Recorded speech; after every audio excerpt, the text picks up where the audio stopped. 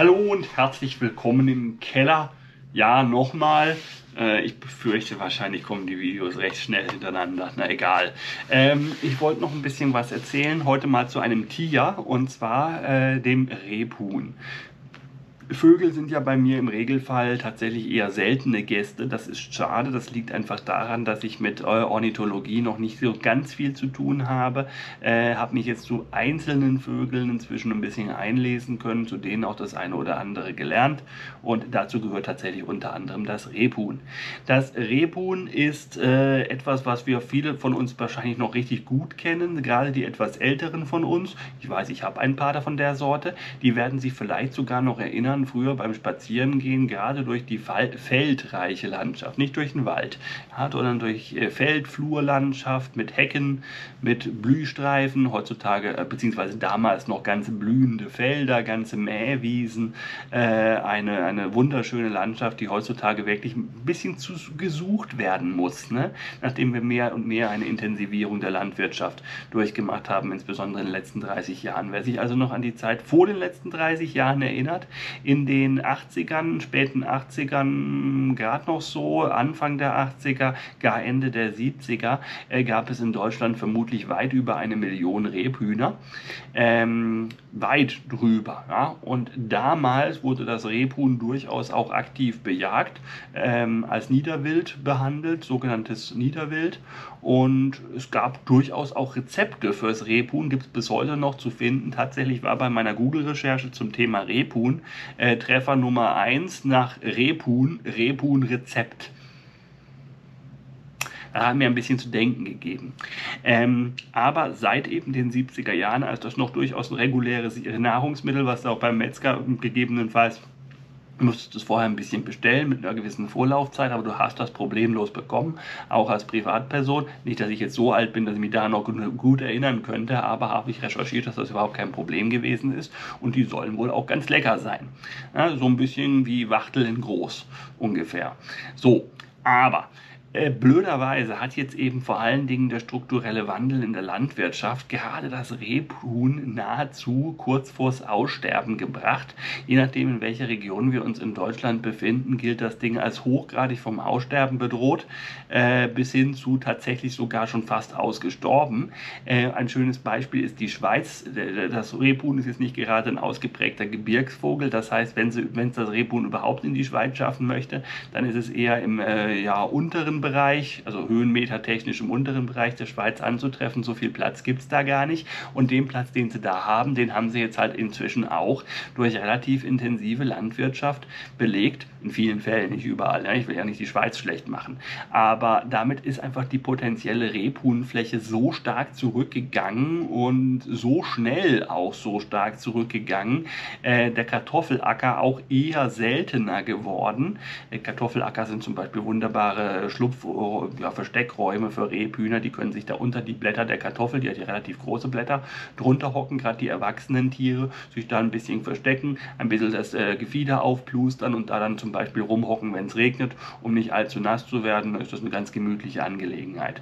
Ja, ähm, dummerweise, auch das ist eben weniger geworden und wenn Felder, dann eben große, große, große Landschaften mit wenig äh, Versteckmöglichkeiten, mit wenig höherer Vegetation, wo sich dann so ein kleines Rebhuhn, die sind ja nicht groß, ne? ich zeige euch immer mal wieder Bilder hoffentlich zwischendurch, ähm, wo sich so ein kleines Rebhuhn dann verstecken kann, das ist immer mehr verloren gegangen. Ende vom Lied, das Rebhuhn ist in der Schweiz tatsächlich ausgestorben.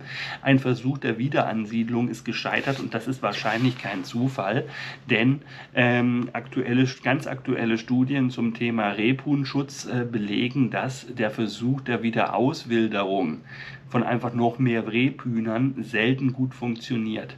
Da müssen wir jetzt zurück nach Deutschland. Rein rechtlich gesehen ist es normalerweise immer schwierig, irgendwelche Tiere auszuwildern.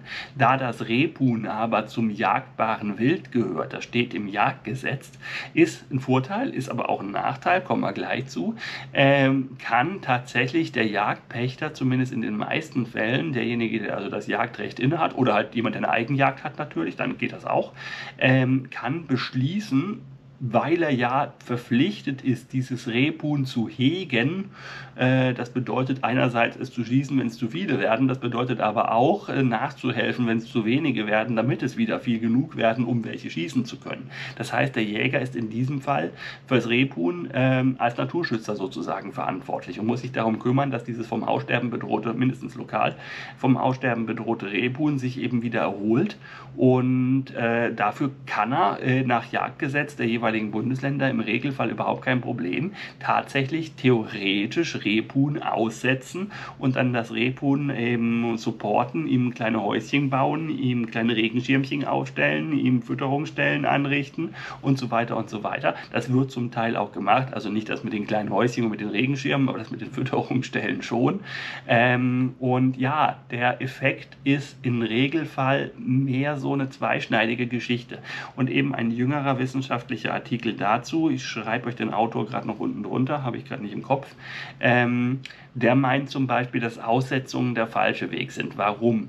Naja, die Rebhühner, die unter der Struktur, im, im Strukturwandel der Landwirtschaft tatsächlich noch überlebt haben, sind offensichtlich die am besten angepasstesten, fittesten, klügsten und tollsten Rebhühner, weil alle anderen, ne, das Sterben geht ja nicht von oben los. Nicht die besten und stärksten starben zuerst, sondern die kleinen, kranken, schwachen, doofen. Äh, um es mal doof, ja, das ist böse, das ist Natur. Ja? Natur äh, schert sich, schert sich einen Scheiß um Ethik. Ja, das darf man nicht vergessen. Und tatsächlich sterben immer die am wenigsten gut angepassten zuerst weg. Das ist frei nach Darwin und bis heute so. Da hatte Darwin schon vollkommen recht mit dieser Theorie. Ähm, und das bedeutet, dass wir eben bei den Rebhühnern, die wir jetzt noch haben, außerordentlich zähe Rebhühner zu erwarten haben. So, setzt man da jetzt in der Voliere großgezogene, halbwilde äh, Rebhühner nebendran sozusagen, die zwar irgendwie jetzt nicht mit der Flasche großgezogen worden sind, aber doch mit stetiger Nahrungsversorgung auf kleinem Raum, ohne nennenswerte Gefahren durch Fuchs oder Waschbär äh, oder Dachs oder andere Marder oder so ziemlich alles, was groß genug ist, ein Rebhuhn zu fressen. Das ist vieles leider. Ähm, und ja, da kann man sich jetzt schon fragen, wie gut werden die sich dann in der freien Wildbahn be, be, ja, behaupten. Und tatsächlich gab es da wohl auch schon Fälle oder wird zumindest sehr vermutet, dass es diese Fälle schon gegeben hat, dass die Rebhühner dann eben aufgrund der Zucht mit den, äh, ja, der Vermehrung mit den wild lebenden Superrebhühnern, die bisher alles überlebt haben, ähm, ja, deren Genpool kaputt gemacht haben, sozusagen. Dass also nicht die speziell angepassten äh, Wildrebhühner, die ihr Leben lang mit den Widrigkeiten des Lebens klarkommen äh, und ihre Gene dafür weitergeben könnten, diejenigen waren, die Gene weitergegeben haben, sondern die nachgezüchteten Rebhühner, die man frisch in das Ökosystem entlassen hat, die dann gar nicht so richtig einen Plan hatten, was man da eigentlich zu, was da eigentlich zu tun ist. Das kann übrigens auch dazu führen, dass wenn auf einmal eine Schwemme von unangepassten Rebhühnern über die Landschaft hervorbricht, äh, so ein Fuchs zum Beispiel, der normalerweise fast nur Mäuse frisst, auf die Idee kommt, boah, das sind so dumme Rebhühner, die können ja gar nichts, dann spezialisiere ich mich mich jetzt auf Rebhuhn. So, und dann frisst er erstmal eine ganze Zeit lang die frisch ausgesetzten Rebhühner, immer weg, wenn frisch wieder neue aus der Voliere kommen, zack, weg sind sie. Und irgendwann sind die aber alle. Und dann kommt der Fuchs auf die Idee, ja Mist, äh, irgendwie schmecken die ja schon ganz gut, aber da kommen ja gar keine mehr auf, auf dem fließenden Band sozusagen angefahren. Äh, jetzt muss ich ja die anderen tatsächlich jagen gehen. Und dann könnte es eben sein, dass der spezialisierte Prädationsdruck auf eben das schwächste Glied der Nahrungskette sozusagen sich auf die angepassten, sich gut versteckenden, gewisserweise auch äh, den Fuchs mittels aggressivem Verhalten ein Stück weit vertreiben könnenden, ein Stück weit, nicht sehr, aber ein Stück weit. Ähm, Rebhühner, denen geht es dann auch an den Kragen. Ja, also man tut wahrscheinlich der Rebhuhnproduktion nichts, äh, Population nichts Gutes, wenn man rein versucht, durch Aussetzung einfach den Bestand wieder anzukurbeln, was hin und wieder im jagdlichen Gestehen eben eine Rolle spielt, weil es ja auch zur Aufgabe des Jägers dazugehört. Ein Jäger ist auch immer ein Schützer, zumindest zumindest sollte er das sein. Ähm, ja, eben sich dann um die Tiere, die ihr nicht schießen könnt, weil es zu wenig geworden sind, darum zu kümmern, dass es wieder mehr werden. Und Aussetzen war früher eben ein gangbarer Weg, das zu erreichen, äh, leider eben jetzt nicht mehr. Je mehr wir über Genetik lernen, das ist dasselbe, wie wir auch bei den Bäumen feststellen, Naturverjüngung äh, ist immer angepasster an den Standort, äh, wo sie lebt, als jede Pflanzung. Ja? Es kann sein, wenn die natürlich vorkommende Art so stark genetisch degeneriert ist, dass man dann mit einer Pflanzung bzw. mit einer Aussetzung im Fall von Tieren doch noch was Besseres hinbekommt, aber dafür müssen die Zustände schon wirklich sehr, sehr katastrophal sein. Das ist beim Rebhuhn nicht der Fall. Die Rebhühner, die es heute noch gibt, sind ja wirklich ausgezeichnet angepasst an ihre Umgebung. Deswegen gibt es sie ja auch noch. Ja? So, daher was kann man tun, um dem Rebhuhn zu helfen? Es liegt, äh, ja, also stirbt oder lebt weiter, je nachdem, äh, mit der einen Frage, nämlich den Lebensraum anpassen. Der Grund, weshalb Rebhühner selten geworden sind, ist schlicht und ergreifend einfach der Strukturwandel in der Agrarlandschaft und Spannenderweise ist das Rebhuhn eine hervorragende Leitart, um eben den Biodiversitätsverlust, der durch den Strukturwandel in der Agrarlandschaft entstanden ist, äh, sehr schön sichtbar zu machen. Wo es noch Rebhühner gibt, gibt es auch alles andere. Weil Rebhühner brauchen im Grunde genau das, was jedes andere bedrohte Tier, das unter dieser Strukturwandelgeschichte leidet, auch braucht, nämlich Blühstreifen neben dem Acker, Brachflächen hier und da mal hinter dem Acker Hecken zwischen den unterschiedlichen Feldern als Transportweg, als Rückzugsort, als Versteckmöglichkeit, wenn der böse Fuchs kommt zum Beispiel äh, oder der böse Dachs oder der böse Waschbär vor allen Dingen, ähm, der ist besonders böse, äh, ja, ne, sowas in diese Richtung. Und das sind alles Sachen, die mehr und mehr in den letzten Jahren langsam wieder aufkommen. Da muss man also ganz klar sagen, der Trend geht in die richtige Richtung inzwischen wieder.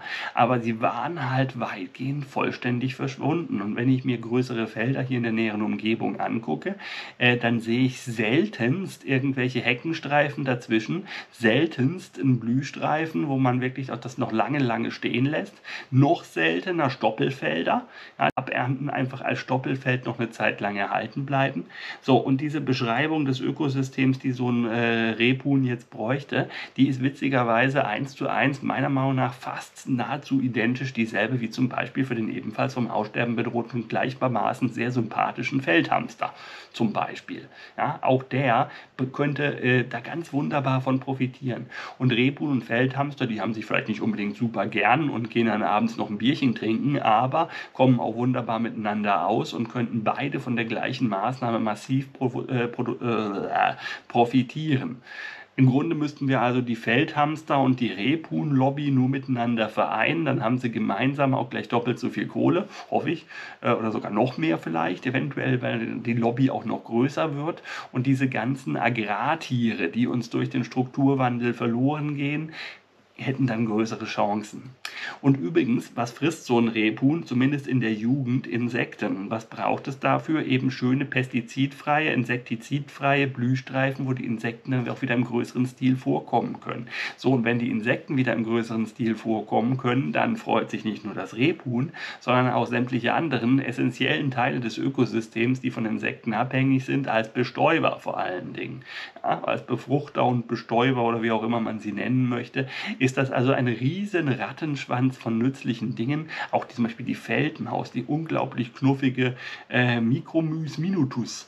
Ähm, eines der tollsten Tiere der Welt, wie ich finde. Ist übrigens das kleinste, meines Wissens das kleinste Säugetier der Welt, äh, dass das überhaupt möglich ist, auf dieser Größe ein Säugetier zu sein, mit allem, was dazugehört, mit entsprechend Herz, mit Leber, mit äh, sämtlichen Organen, die wir mit uns rumschleppen, mit einem vollwertigen Gehirn, wie wir es auch haben. Bisschen weniger leistungsfähig, aber ein vollwertiges Gehirn, inklusive diverse Milchzitzen und dieses ohnehin schon winzige Tier kann außerdem noch, noch winzigeren Nachwuchs zur Welt bringen, der auch auf dieser unglaublich kleinen Größe als Säugetier tatsächlich noch irgendwie lebensfähig ist. Es gibt wenig Faszinierenderes wie äh, die Mikromaus Minutus.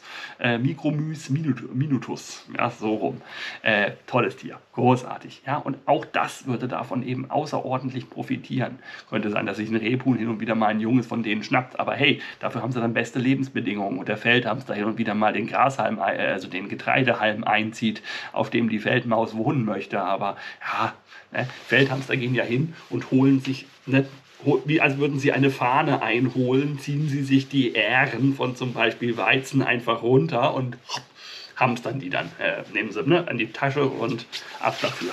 Ja, also es gibt so viele wahnsinnig coole Tiere, die da absolut vom Aussterben bedroht sind. Die Liste ist noch lang, ja, da könnte man noch eine ganze Weile nachmachen, weitermachen, bei denen auch bisher wenig Chance besteht, dass sich die Situation mal verbessert, weil das Hauptproblem einfach im Lebensraumverlust besteht.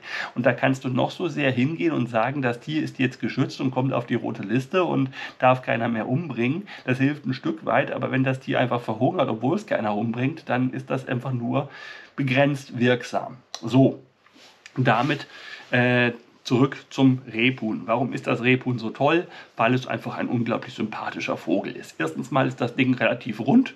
Ja, ein schönes, rundliches Vögelchen. Äh, so der Archetyp des Huhns. Äh, netter, sympathischer Gesichtsausdruck. Äh, vom Wesen her sehr hunig.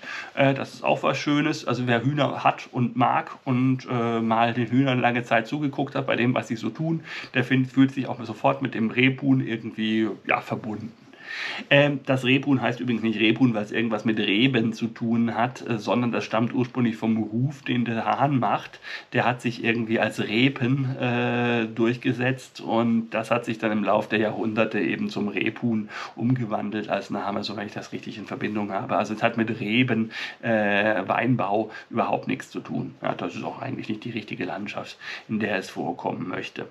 So, so ein Rebhuhnleben beginnt als Ei zusammen mit, oh, sagen wir mal, sogar 19 anderen Eiern. Es kann schon mal sein, dass das Gelege wirklich 20 Eier umfasst. Das bedeutet, für einen Vogel äh, ist das Rebhuhn ein R-Stratege, produziert relativ viele Nachkommen in relativ kurzer Zeit.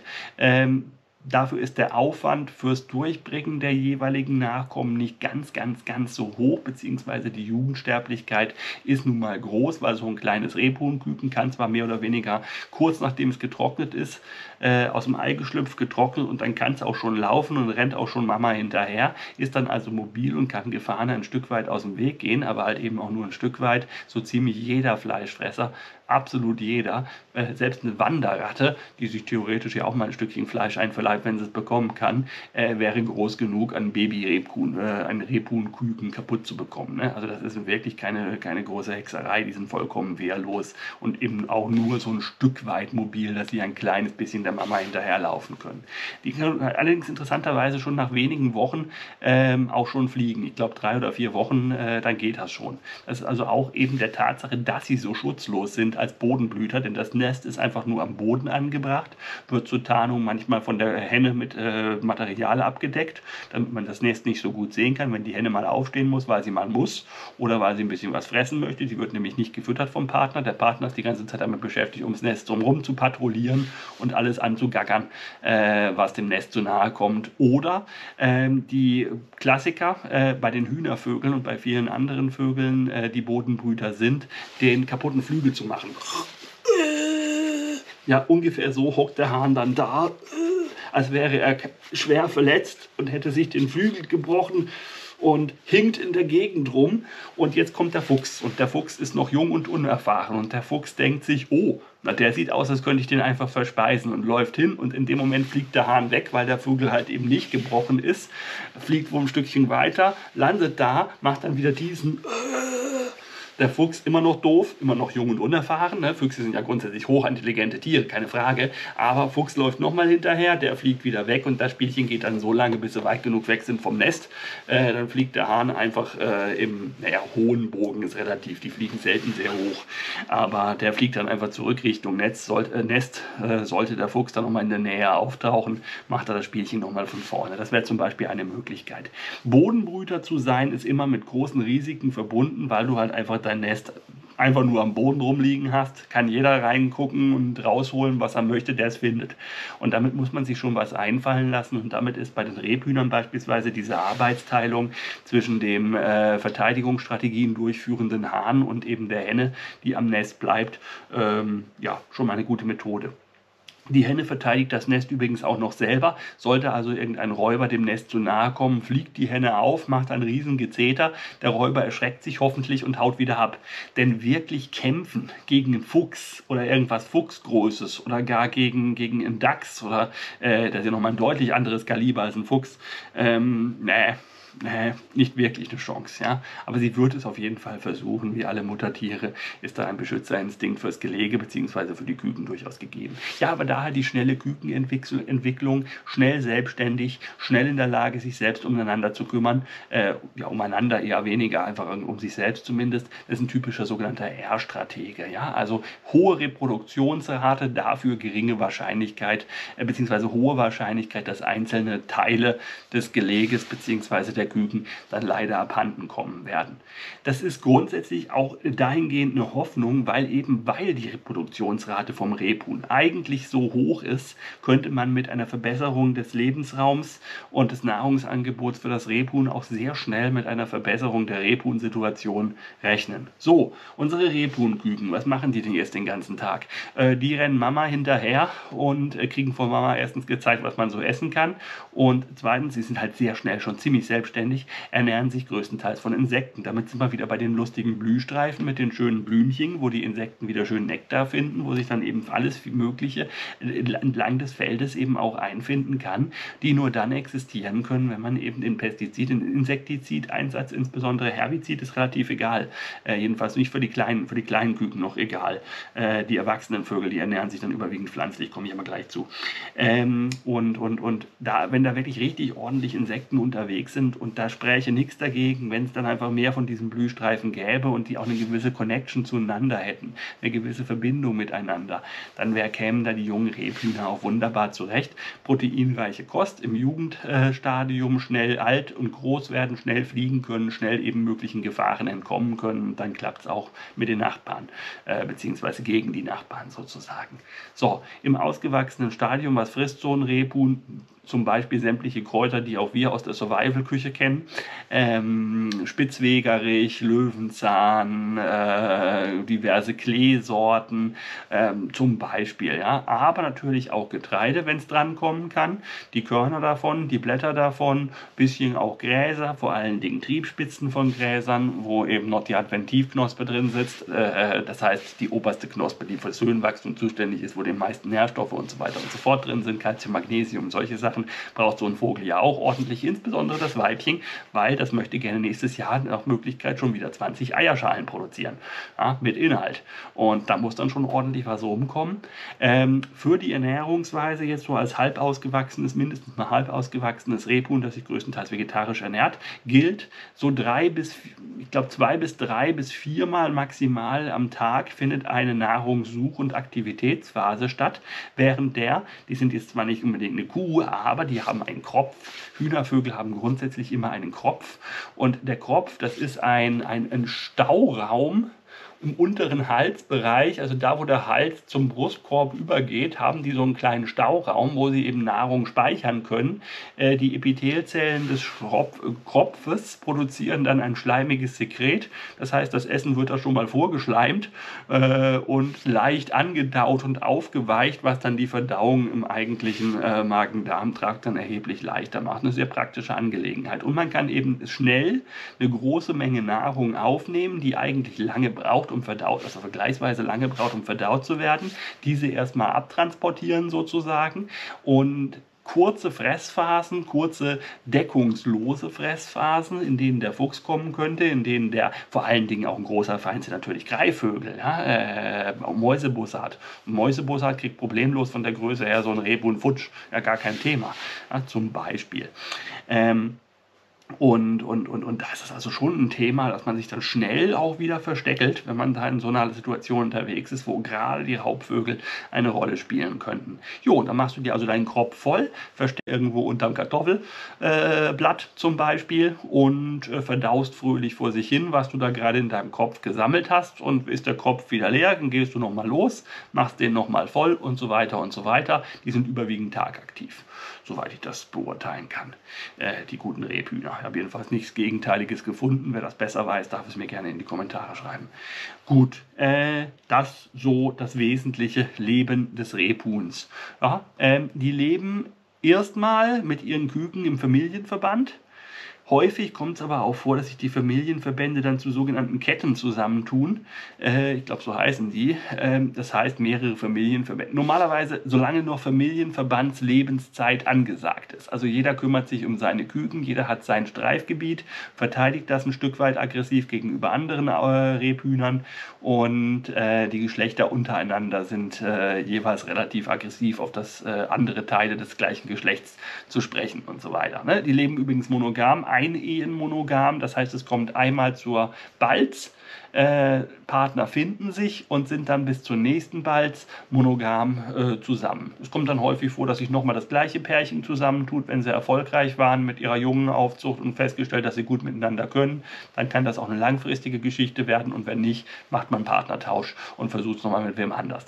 Übrigens, was auch sehr, sehr, ja, blöd ausgedrückt menschlich wirkt beim guten Rebhuhn, ist, äh, dass äh, die, der, das Balzverhalten findet umso weniger weniger statt. Das heißt, man gibt sich umso weniger Mühe, den Partner zu beeindrucken, je häufiger die schon zusammen äh, Küken großgezogen haben. Äh, sehr nachvollziehbar irgendwo ein Stück weit. Das gibt es also auch im Tierreich, dass da der, der, der, der Aufwand äh, nicht mehr ja, ganz so hoch ist. Ja, wenn man bedenkt, bei frisch, noch nicht, noch nicht wirklich liiert, Blumen mitbringen, Schokolade mitbringen, äh, schick essen gehen, Kino, äh, was man halt so tut, ne? äh, tolle Sprüche ausdenken, Komplimente machen und so weiter und so fort. 40 äh, Jahre später, ach, nur kuscheln ist auch in Ordnung. Sowas in diese Richtung, ja? Ich hoffe, wir wissen, was ich meine. Gut, ähm, das ist also die menschliche Komponente beim Rebhuhn. Ja, diese Familienverbände tun sich dann eben, wie gesagt, wenn es dann langsam gegen Herbst, äh, herbstlicher wird, tun die sich wieder zusammen zu eben größeren Gruppen und im Winter kann es sogar vorkommen, dass sehr große mit 30 Tieren umfassende äh, Herden in Anführungszeichen von Völker heißen die, glaube ich, in der Jägersprache, von Rebhühnern unterwegs sind, um sich eben gegebenenfalls auch besser gegen den jetzt im Winter auch hungrigeren Fuchs ein Stück weit verteidigen zu können, beziehungsweise ähm, die einzelnen Individuen mehr Überlebenschance haben, sollte der Fuchs kommen. Außerdem braucht nur ein Huhn aufpassen und 29 Hühner, sagen wir mal, können in Ruhe fressen und sich den äh, Kopf mal wieder voll machen, äh, während einer halt zum Wache oder eine zum Wachehalten abgestellt ist. Häufig sind diese Familien eben die Paare, die gerade Eier gelegt haben, plus deren inzwischen erwachsene Küken. Und die sind dann auch bis ins Frühjahr geschlechtsreif. Und dann geht wieder die, äh, ich habe gerade nicht genau im Kopf, wann die Balze ich schreibe es euch unten hin. Aber dann geht die Balz wieder los, es werden wieder Eier gelegt. Ähm, ja, und Balz ist übrigens bei den Hähnen durchaus eine relativ ernste Angelegenheit. Die haben ja auch, wie viele Hühnervögel, diese roten, roten Teile am Kopf, nennen wir sie jetzt einfach mal so. Es gibt einen Fachbegriff, der mir gerade ums Verrecken nicht einfällt. Und da soll drauf gehauen werden vom jeweiligen Kontrahenten. Die Damen finden diese roten Teile aber auch offensichtlich sehr attraktiv und man versucht sich dann da gegenseitig quasi an den Dingern zu hacken bei äh, den Kämpfen, wenn da mal Kämpfe stattfinden. Das ist aber meistens so, dass das recht glimpflich ausgeht, dabei kaum ein Hahn verletzt wird und noch viel seltener mal ein Hahn zu Tode kommt, kommt aber hin und wieder tatsächlich mal vor, insbesondere bei hohen Populationsgrößen ähm, pro Fläche. Übrigens, die war früher mal bei etwa 100 über, oder über 100 äh, Brutpaare pro 100 äh, Hektar. Äh, inzwischen ist sie auf 0,9 Brutpaare pro 100 Hektar runtergegangen. Das einfach nur, um nochmal eine Zahl zu nennen, wie bedrohlich eigentlich die Situation des tollen Rehpools inzwischen geworden ist. Ähm, wenn ich dran denke, wenn nicht, erinnert mich nochmal dran, verlinke ich euch nochmal gerne diverses Bildmaterial, wo man auch ein paar Rebhühner in Bewegtbild sehen kann. Da gibt es einen hervorragenden alten Film, der digitalisiert wurde von jemandem, der die früher, und das ist der Knackpunkt, früher früher, vor 40 Jahren oder so, mal gefilmt hat, als sie noch häufig waren. Da gibt es wirklich sehr, sehr spannendes Bildmaterial, weitgehend unkommentiert. Dafür könnt ihr ja mein Zeugs nebenher laufen lassen zum Beispiel. Ähm, aber, aber, aber ja, also wirklich sehr spannendes Bildmaterial. Ich war schon einen kurzen Moment kurz davor, ob ich das, das mir einfach klaue, nachdem das offensichtlich keine Sau kratzt, dass man da Urheberrechtsverletzungen begeht. Aber nee, damit fange ich gar nicht erst an. Ne? Reaction nennt sich das dann ja. Egal. Ähm, jedenfalls so viel grob erstmal zum Leben vom Rebhuhn. Feindvermeidung hatte ich ja gesagt. Wie sie sich dann beim Brüten um die Brut kümmern, hatte ich auch gesagt. Was die so essen, hatte ich gesagt. Wie der Lebensraum aussieht, auch. Ja, ich glaube, das ist es im Großen und Ganzen. Ähm, damit ist immer auch zeitlich recht gut durch. Ich möchte einfach nochmal die, die, die äh, Dringlichkeit des Schutzes bzw. der Erweiterung der Biodiversität der landwirtschaftlichen Nutzfläche in den Vordergrund rücken. Ja, ich bin zwar kein Landwirt äh, und auch kein Agrarwissenschaftler, ähm, und auch nicht ein Landschaftsökologe oder sonst irgendwer, dessen Fachgebiet das eher ist. Aber mit Wildtieren habe ich es halt dann doch auch ein bisschen und da gehört halt nun mal auch das Rebhuhn dazu, auch wenn das jetzt nicht speziell im Wald lebt. Genau genommen lebt das so gut wie gar nicht im Wald. Es geht höchstens mal durch, wenn es auf die andere Seite möchte, aber fühlt sich unter dichten Bäumen eigentlich eher unwohl. Der Randstreifen, der natürliche Waldmantel, gerade der Rand des Waldmantels, wo noch ein natürlicher Waldmantel zu finden ist, das habe ich irgendwo anders mal erklärt, ähm, ja, das ist natürlich ein sensationelles, ein sensationeller Lebensraum fürs Rebhuhn. Das klappt dann wieder gut. Also da könnte man vielleicht aus der Sicht der Forstwirtschaft auch einfach mal mehr Waldmäntel sich natürlich entwickeln lassen, also der Rand vom Wald einfach zum Feld hin verwildern lassen. Und wenn man auch nur bei jedem, bei jedem großen Feld zwei, drei, maximal vier äh, laufende Meter am Rande freilassen würde ja, und einfach sagt, da kann sich ein bisschen entwickeln, wie es lustig ist. Da kann ein Blühstreifen entstehen und ein bisschen ein verwildertes Feld.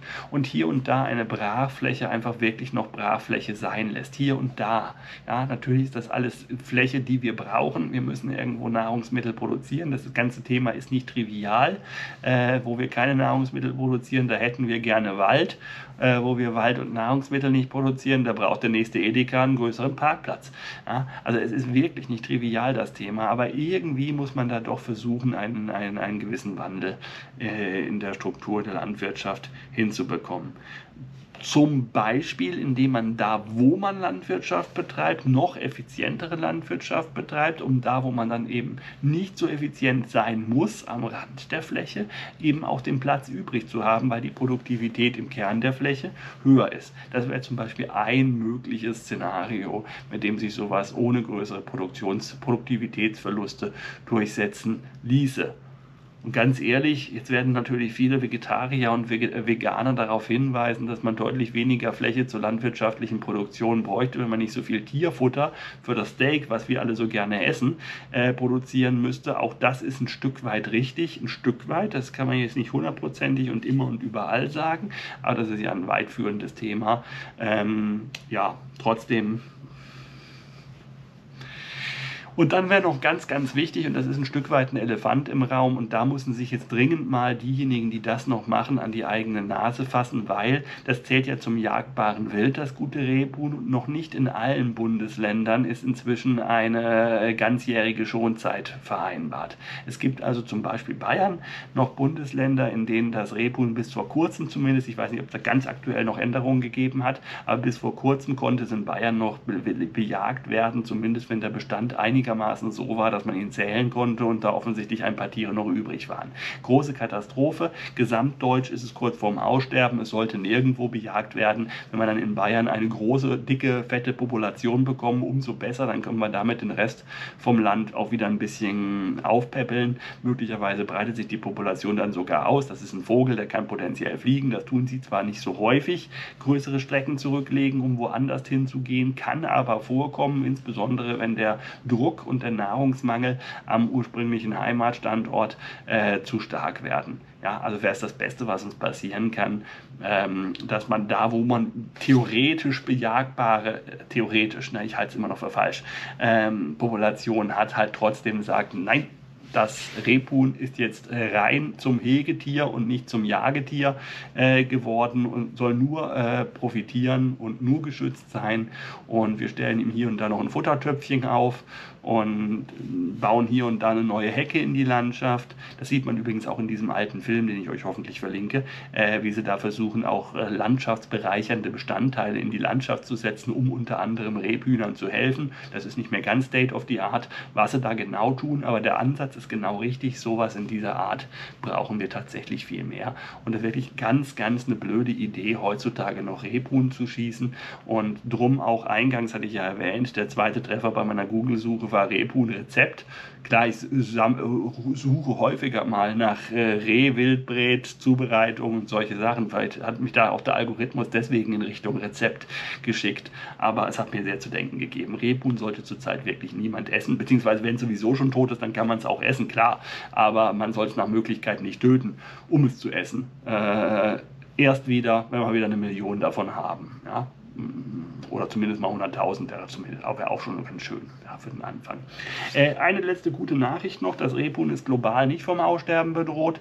Die äh, Richtung Osten äh, gehende Teil der Population, also so Richtung äh, südlichere Sibirien und solche Späße, da geht es den Vögeln wunderbar. Da hat dieser Strukturwandel in der Landwirtschaft zumindest noch nicht in dem Ausmaße stattgefunden, dass sie keinen Lebensraum mehr hätten.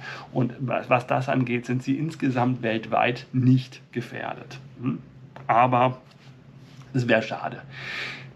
Obwohl all diese genannten Arten, die in diesen Blühstreifen und solchen Späßen vorkommen, wie auch der Feldhamster, letztendlich Relikte unserer Kulturlandschaft sind, äh, die wir ja seit tausend Jahren oder was betreiben. Aber wenn es den Menschen in seiner Offenland herstellenden und landwirtschaftliche Nutzfläche stellenden Art und Weise nie gegeben hätte, kann man sich zum Beispiel auch durchaus fragen, aber da kann man ganz lange rum spekulieren, äh, ob es das Rebhuhn oder den Feldhamster oder andere ausdrückliche Steppentiere äh, in einer Landschaft, die eigentlich nur sehr wenig aus Steppe bestehen würde, dann überhaupt in diesem Ausmaße gegeben hätte, wie es sie heute, naja, vor 30 Jahren noch gegeben hat und heute dann auch schon wieder fast nicht mehr gibt. Aber es kann nur eine Win-Win-Win-Win-Win-Situation sein, all diesen bedeutenden Agrartieren einfach wieder mehr Platz zur Verfügung zu stellen. Und davon profitiert letztendlich auch mindestens die Biolandwirtschaft, vielleicht auch kleine Gärten, die man immer mal wieder draußen auf dem Felde auch mal anlegen kann, mit einem guten Zaun gegen die Wildsau und solche Späße. Äh, und die Artenvielfalt auch in der landwirtschaftlichen Produktion. Auch da setzt man ja auf zunehmend mehr, beziehungsweise möchte das von der Forschung Forschung her gerne mal häufiger tun, mehr unterschiedliche Getreidearten, die dann auch unterschiedlich resistent äh, sind gegen unterschiedliche Krankheitserreger. Wer streut, rutscht nicht, gilt im Wald, gilt aber auch, haben wir ja schon gehört bei meiner Exkursion, die müsste inzwischen schon durch gewesen sein, da habe ich auch noch mal erzählt, wer streut, rutscht nicht, das Prinzip für den Waldbau der Zukunft, das funktioniert in der Landwirtschaft genauso und es kommt ja auch aus der Landwirtschaft. Wer Mais, Gerste, Hirse, äh, Reis, das ist jetzt unrealistisch, und Weizen anbaut, äh, dem können vier Sachen wegfallen, aber zumindest hat er mit einer Sorte noch genügend, um sich selbst zumindest einigermaßen zu ernähren, möglicherweise sogar noch ein bisschen Gewinn zu machen, weil alle anderen gar nichts mehr zu mampfen haben. Also Vielfalt ist immer besser als Einfalt. Ist ja eigentlich ganz simpel. Macht's gut. Bis morgen. Und grüßt einen Rebhuhn von mir, wenn ihr einen seht. Und habt es lieb. Also nicht hinterherrennen und fangen und so. Habt es aus der Ferne lieb. Tschüss.